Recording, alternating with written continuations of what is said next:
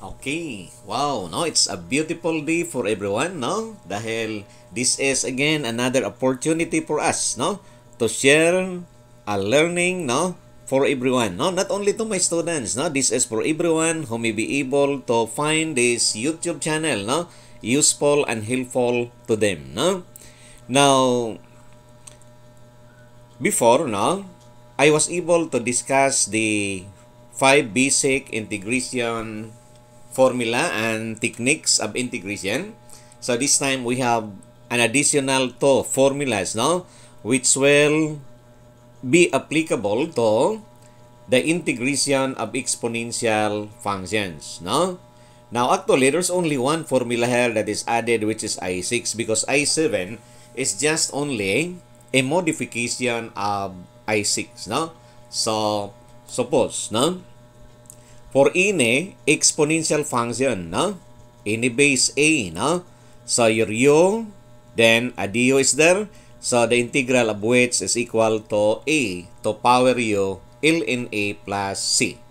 Now, if this is true to any exponential function of whatever base, no? So in I7, this is exclusively applied to a base which is e. e is actually the base of the Napierian or the natural logarithm. Now, if you substitute your e in I6, so the formula will come out as the integral of exponential u du which is equal to the exponential u L over L in e. But L in e, we know it is 1. That is why in I7, no, the formula looks simpler because the denominator of L in A is actually set to 1. So, the only expression that will appear in our integral is only the exponential u plus c. By the way, what is A?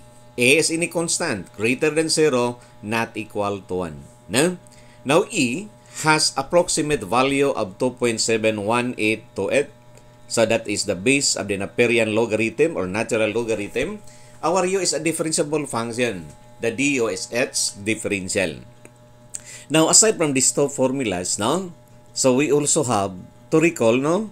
The two other formulas, the laws of radicals and the laws of exponent, no? Because they can be useful, no? To arrive with an integrable form, no? If ever our given does not follow exactly the integration formula. So, we need to modify, no? So, meron tayong dalawang laws dito. So, dapat i-recall rin natin yung laws of exponents and the laws and radicals. Okay? So, here we have an example, no? If we are asked to evaluate, no, the integral of the given, no? We have the integral of 2 to power 3x dx, no? Actually, you can treat your 2 as a. Then, our u will be the function 3x. No?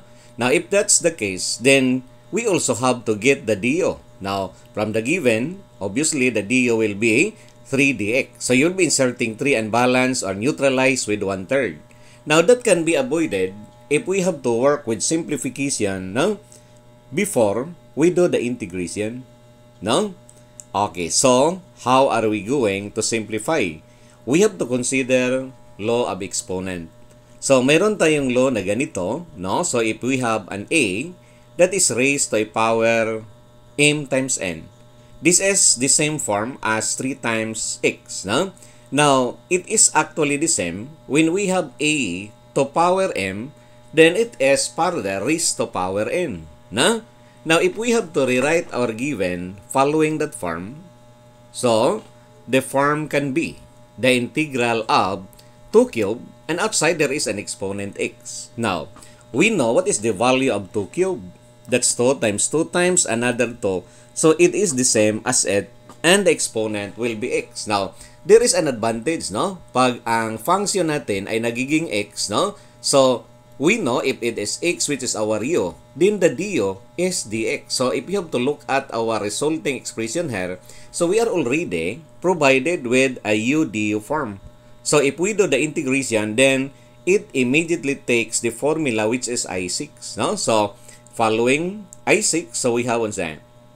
a to power x, and that is over L in it, plus c as our answer. So, in order to arrive no, with a more simpler answer, so you may start with a simplification before you do the integration. Okay, so here are some other samples. No? Okay, number 2. The base is E. So if the base is E, our target formula is the I7. So exponential u following our given, no? So our u is the cotangent of 1 fifth of x or x over 5. So let this be as your u. So, we also have to apply the differentiation formula. So, if our u is equal to a cotangent of x over 5, the du of which, no? So, dapat i-recall rin ang mga differentiation formula. So, the differential of a cotangent u is a negative cosecant squared u. Then, there is a du. So, the differential of 1 fifth of x is 1 fifth dx. No? So, let us try to rewrite our given, no? If the differential that comes out after we differentiate no is the same as the given no? Now what appears in the given is dx over sine squared. But there is a reciprocal identity. The 1 over sine is equal to cosecant correct? So the 1 over sine squared no? Because this belongs to the denominator side. The 1 over sine squared is also good as the cosecant squared. So i am now rewriting my given in terms of a cosecant squared. No? So this is exactly the same as that, only we are using a reciprocal function. Okay? So, we have to check no? if the du here, as after we evaluate, no? so also exists in our given. No? Now, obviously, there is a lacking constant factor of negative 1 fifth. 1 fifth and the negative here is actually negative 1 fifth. Now, I'm inserting a negative 1 fifth in order that there is an exact d here. So, we also need no, to have the reciprocal of this be placed before the integral sign in order to neutralize. No? So that the negative 5 and the negative 1 fifth if multiplied, the product of which becomes 1. No? So meaning, we were able to neutralize the expression being inserted. Okay? Now, following the formula, we have the integral of exponential. We call this as our u. So, the du, which is this one, na, is there. So, that is exponential u du. And what's the rule? That is equal to the exponential u. The exponential u, exponential of a cotangent of x over 5 plus c. Now, this function will no longer appear because this is part of the du. That is only exponential u du. In our formula, What will appear as the answer is the exponential u plus c. The negative 5 must be part of our answer. This is the neutralizing factor when we are providing the negative 1 fifth to the du and the given. Now, which is lacking a negative 1 fifth. Okay? Now, here is another situation or another example. We have an example that is composed no, of two terms. No? Now, we have to follow with sum rule, no? So, we have to start using the sum rule. So, we have to do the integration each term. Okay? And this is the result. So, we take the integral of 5e to power 2x dx. Then, minus 2 as a constant factor. Then, we have the integral of x raised to power 5e dx. Okay? Now, in the first term, you might be confused, no? which of the formula would it be I6 or the I7? Because there is a presence of E here. Pero if you take note again, this is not exactly E as the base. So that means we're not going to use the I7 because I7 can only be applied if the base is exactly E. On this case, no, our base is 5E. So, it is I6 that will govern her because I6, no, is applicable to a to any exponential function of any base, no? So, while ang I7 is only intended for a base of E. So, this is 5E, so you can use the I6. So, if this is E, then this is U. So, if this is U, I must go with the DU. So, what's my DU? Okay? It is to dx. So, it is lacking with 2, di ba? And we can neutralize with 1 half.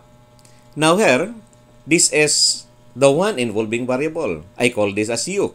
So if this is u, which is x, the du is dx. So it's there. Now, So u du form. So if this is u and this is a dx, so 5e here is an exponent, a constant power wherein under a power rule, this is considered to be our n.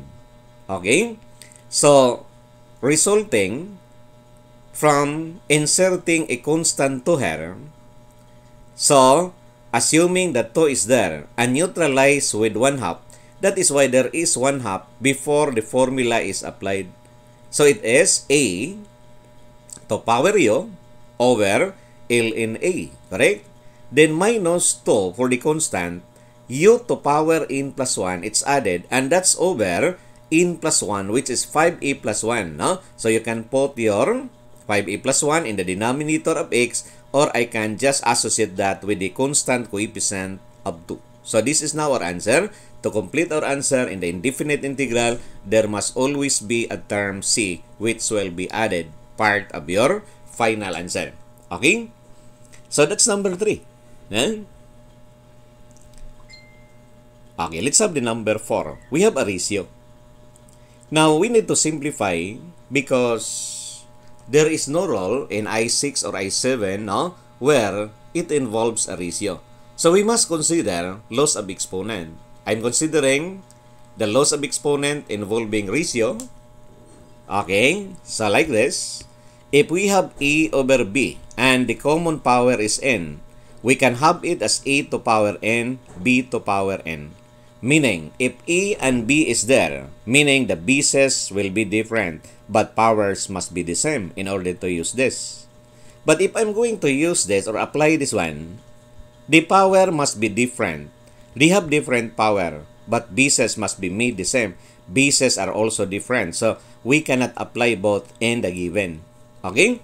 But from number one example, na, we were also able to apply this one, this law of exponent. If we have e to power n n, it is again raised to power m. We can write it also as e raised to product of n times m. Okay? So let's try to have this be written following the last no, law of exponent. Okay? So we can take it as 4, no? We can take it as 4 cube raised to x, no? And we can also write the denominator as 2 to the fourth power raised to x. Now, if their powers are the same, no? and I can take also the equivalent value for 4, uh, 4 cube, no? and 2 to the fourth power. 4 cube is equal to 64. 2 to the fourth power is 16. They are all raised to x, di ba? So if they are all raised to x, no, then I can divide my a and b raised to a common power of n. So that means 16 can be a divisor of 64. And the result will be raised to power n. Can we divide 16 as uh, 64 by 16? Yes, and the result is 4. So 4 will be raised to power x dx. So if the exponent is just x, no? Then I can have the du, which is a dx because my u, there is x. So my du is a dx, no? So I can make use of the i6, no? And we have 4 raised to x over L in 4 plus C as our answer. Okay, so this is the last example. Na? And again, this is not integrable. No? So at the start, di siya ma-integrate no? directly. So kailangan natin mag-apply ng ano, laws of radicals because in the denominator, it is expressed in terms of radical form. No? Okay. Index of radical na ay gagawin natin unsa fractional power. 1 over the index no, is the equivalent. So I can write it as, okay, this way. So, by writing this in terms of fractional power, the exponential of 4x squared will be raised to a power 1 over the index of your radical. And from the law of exponent, which is this one, this one, we can take their product. So 4x squared times the 1 third. Or say we have 4 over 3x squared being your function in the exponential function. Now, this is not integrable when your e is in the denominator side. So, law of exponent, when you have 1 over a to power n, you take the reciprocal, but you have to change the power to opposite. No? sorry, writing. So, we can have it as exponential negative 4 over 3x squared. There is another factor x and a dx. Now, it's good that there is x because your u in the exponential u form, no? our u is quadratic. And if we are going to differentiate the x squared, no? So that becomes 2x. 2 multiplied with 4 becomes 8. So it is minus 8 over 3 x dx. So checking on the given, no? This is lacking with negative 8 over 3. Okay, I'm inserting the negative 8 over 3. Neutralizing factor will be inserted. So we have a negative 3 over 8, correct? Okay. Now formula is now applied. Okay. So minus 3 over 8, exponential u, that's a dio. So this will be the one which will only appear in our answer. Or in terms of fractional power, I can take the reciprocal changing the power to positive, then I define that there is an exponent of 1 over 3 outside because this fractional power will also lead into a radical form. So denominator will be the index of our radical. So we have a cube root of exponential 4x squared plus c. Now any of these three no, can be used as answer. No? But if you have to go back to radical because the given is expressed in terms of radical form, so Preferably, it is the last form which is to be presented as a final answer. But there's nothing wrong if you stop here, if there is no required form in our instruction. Okay? So that's all for the exponential function, no? On how to integrate, no? So thank you for watching, no? So try to subscribe, no? So that our channel can be able to reach those no who are actually in need of this no? So i'm not only doing this for my students no? So i am thinking to reach for a greater number of students or greater number of people who are in need of this uh, learning no? So let's keep on sharing. Okay so subscribing. So invite your friends to subscribe our channel no? So i hope that we will beginning more numbers on the subscription of my YouTube channel. Okay, so thank you for watching and being around always. Okay, so bye-bye and good day.